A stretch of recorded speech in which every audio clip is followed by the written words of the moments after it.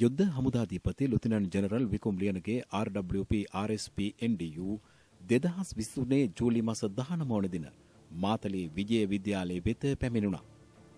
මාතලේ විජය විද්‍යාලයේ කීර්තිමත් ආදී ශිෂ්‍යයෙකු වන යුද්ධ හමුදාධිපතිතුමන් අධ්‍යාපනයේ හැදෑරූ විදුහල් මාතාවට කෘතගුණ දැක්වීමක් ලෙස එම විද්‍යාලයේ විදුහල්පති රාජිත තීක්ෂණ මහතාගේ ඉල්ලීමකට අනුව විද්‍යාලයේ ක්‍රීඩා පිටිය ප්‍රතිසංස්කරණය කිරීමේ කටයුතු ආරම්භ කෙරුණා. මෙම අවස්ථාවට යුද්ධ හමුදා සේවා වනිතා ඒකකයේ ගරු සභාපතිනී ජානකී ලියනගේ මැතිනිය අධ්‍යක්ෂ ජනරල් ප්‍රධාන මාණ්ඩලික ආරක්ෂක සේනා මධ්‍යම ආඥාපති යුද හමුදා ප්‍රධාන ශේෂ්ත්‍ර ඉංජිනේරු ඇතුළු ආරාධිතින් රැසක් සහභාගී වුණා.